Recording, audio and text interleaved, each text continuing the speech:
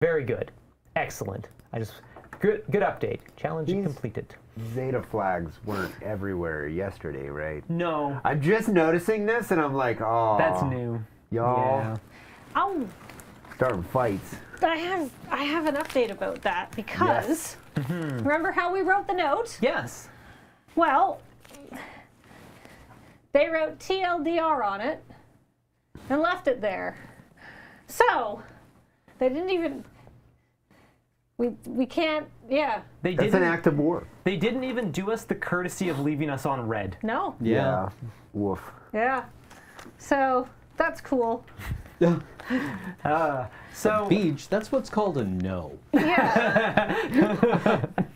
Thanks for knowing our definition. so we have a couple of things. First of all, we seem to have a pox upon our house. Yeah. yeah, And we're down a person in our house today, so we're we're fighting shorthanded. we're under. Are we the underdogs now? But they did they did leave our banner alone. This is true. So here's what I'm proposing. I propose we get all this tat out of here, and we put, and then we uh, we put it back in their studio. But we put it back nicely, like we make it look like a Z, or as much as we can. Yeah. And then it's like, look, all right, détente. And if they then we've been polite twice, yeah. and if they are rude to us again. Then my first suggestion is on the table. Hmm. All right. I then. like that how Canadian your reaction is. They've clearly made their intentions clear.